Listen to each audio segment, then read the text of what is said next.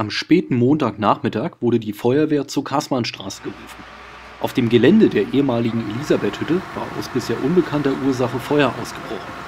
Mindestens 50 Kubikmeter Abfall gingen dabei in Flammen auf. Die Feuerwehrleute waren bis 4.30 Uhr nachts im Einsatz. Die Brandbekämpfung gestaltet sich schwierig. Einmal, weil das Gelände natürlich sehr baufällig ist und zum anderen, weil dort drinnen jede Menge Unrat brennt und man äh, schauen muss, dass man äh, an das Feuer überhaupt erstmal richtig äh, rankommt, weil das frisst sich wie so ein Kamineffekt in dem Haufen weiter fort, ohne dass wir sehen, wo es letztendlich hochkommt.